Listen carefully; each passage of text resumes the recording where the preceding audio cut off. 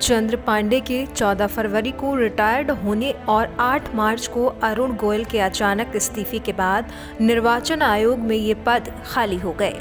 निर्वाचन आयोग का नेतृत्व राजीव कुमार कर रहे हैं। ज्ञानेश कुमार और सुखबीर सिंह संधू ने शुक्रवार को चुनाव आयुक्त का पदभार संभाल लिया है।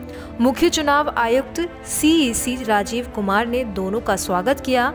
इससे पहले पीएम मोदी की अध्यक्षता वाले चयन पैनल ने बीते दिन दोनों को चुनाव आयुक्त नियुक्त किया था। विधि एवं न्याय मंत्रालय ने एक अधिसूचना जारी कर इसकी घोषणा की थी। दरअसल अनूप चंद्र पांडे के 14 फरवरी को सेना निर्वृत्त होने और 8 मार्च को अरुण गोयल के अचानक इस्तीफे के बाद निर्वाचन आयोग में ये पद खाली हो गए थे। ज्ञानेश कुमार 1988 बैच के केरल कैंडर के आईएएस अधिकारी रहे हैं। मई 2016 में ज्ञानेश को गृह मंत्रालय में संयुक्त सचिव बनाया गया था। वहीं मई 2022 में ज्ञानेश कुमार को सहकारिता मंत्रालय का नया सचिव नियुक्त किया गया था। उस वक्त ज्ञानेश संसदीय कार्य मंत्रालय के सचिव का प्रभार संभाल रहे थे। उन्होंने सहकारिता मंत्रालय सचिव के साथ साथ संसदीय कार्य, मंत्रालय के सचिव पद का अतिरिक्त प्रभार भी संभाला था। ज्ञानेश कुमार के गृह मंत्रालय में नियुक्ति के दौरान ही अनुच्छेद 370 हटा था। उत्तराखंड के मुख्य सचिव रहे सुखबीर सिंह संधू भी नए चुनाव आयुक्त बनाए गए हैं।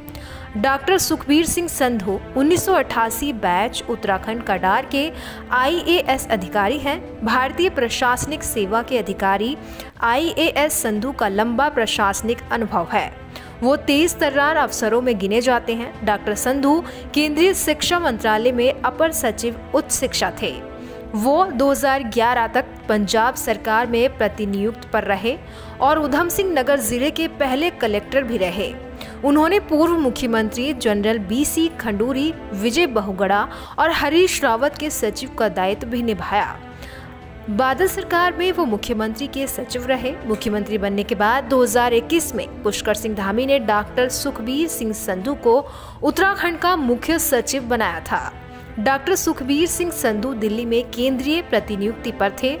राज्य सरकार ने संधू की मूल कैंडर में वापसी के लिए केंद्र सरकार से अनुरोध किया। संधू, इससे पहले केंद्र में राष्ट्रीय राजमार्ग विकास प्राधिकरण के चेयरमैन थे। 2019 में उन्हें राष्ट्रीय राजमार्ग प्राधिकरण का दायित्व सौंपा गया था। उन्होंने उत्तराखंड के सत्रहवें मुख्य सचिव के तौर पर कार्यभार संभाला।